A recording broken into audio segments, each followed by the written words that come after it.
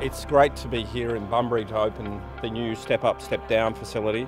Uh, this is an important addition to the mental health services of the Southwest. It will provide uh, people in mental distress with the opportunity to come and stay here and get better.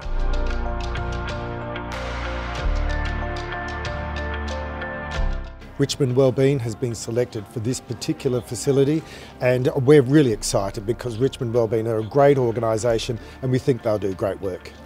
Nyan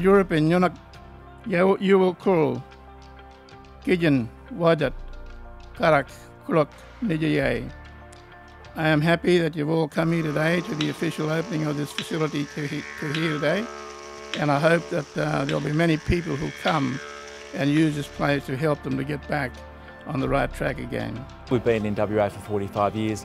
This is absolutely our core business, uh, supporting individuals who experience mental distress and uh, we're really looking forward to uh, delivering this service and providing great support and great services for the community of the Southwest. Um, I've had mental illness since I was 15, 13, 14, around that, that area. My dad had it as well, so um, so always been in the spotlight. Um, been in hospital lots and lots over the years.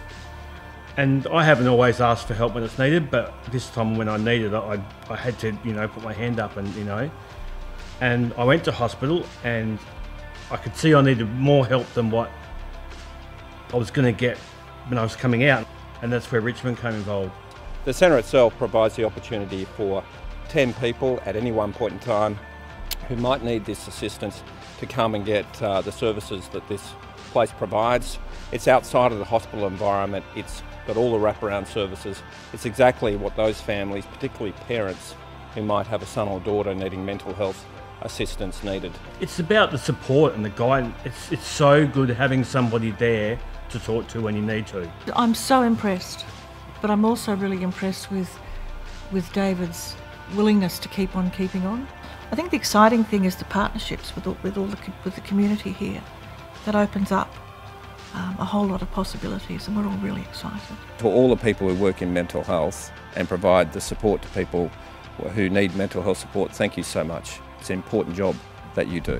This facility says to people with mental distress, we value you. And that is so important for when people walk into this facility to realise and feel valued.